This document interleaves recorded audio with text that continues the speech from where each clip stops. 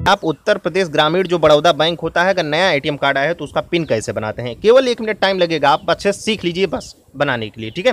तो देखिए, कार्ड आपको यहाँ पे डालना है, कार्ड डालने के लिए आपको यहाँ ऐसे डालना है, क्या पूरा लाइव करके दिखाऊँगा, एकदम सरल तरीके से, ठीक है? तो अब कार्ड डालने का तरीका आप लोग हमेशा सीख लीजिए, कोई भी एटीएम कार्ड हो, कोई भी एटीएम मशीन हो, चिप वाला भाग हमेशा ऊपर की तरफ़ आगे रहता है, फिर भी अगर आपको कोई डाउट है तो मैंने एक छोटा सा वीडियो इस पर बना के चैनल पर डाला है कि एटीएम कार्ड कैसे डालते हैं? कोई भी एटीएम कार्ड हो, कोई भी एटीएम मशीन हो ऐसी ट्रिक बताई है कि आप कभी जीवन में भूलेंगे नहीं। तो आपकी इच्छा होगी तो उसको देख लीजिएगा। बाकी क्या करना है, आप यहाँ पर अच्छे से समझ जाएँगे। तो इस प्रकार से देखिए, चिप वाला भाग ऊपर आगे की तरफ़ रहना चाहिए। एटीएम कार्ड आपको इस प्रकार से डाल देना है।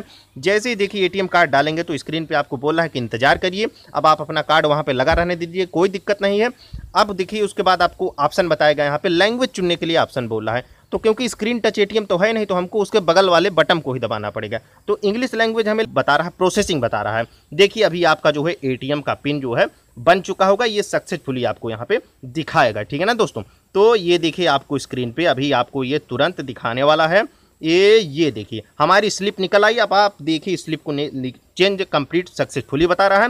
पिन चेंज सक्सेसफुली, ठीक है? आपका पिन बन चुका है, अब आप अपने एटीएम से कोई भी काम कर सकते हैं। हमेशा एक सावधानी रखिए, जब भी एटीएम कार्ड से आप बाहर आइए, जब तक ये ब्लू लाइट, ये ग्रीन लाइट ग्रीन लाइट जब तक नहीं जल जाती है, आप एटीएम मशीन से बाहर मत आइए। ये मैं हर वीडियो में बताता हूँ, ये आपकी सावधानी है। हमेशा ध्यान रखा करिए, अब आप अपना कार्ड ले लीजिए। तो आशा करता हूँ दोस्तों, वीडियो आपको पसंद आया होगा। अगर वीडियो पसंद आया हो तो लाइक करके, कमेंट करके आप अपना सपोर्ट दीजिए। अगर आपका कोई सवाल हो तो निसंदेह कमेंट बॉक्स में पूछ सकते हैं। कोई भी सलाह, सुझाव हो, उसको भी आप बता सकते हैं।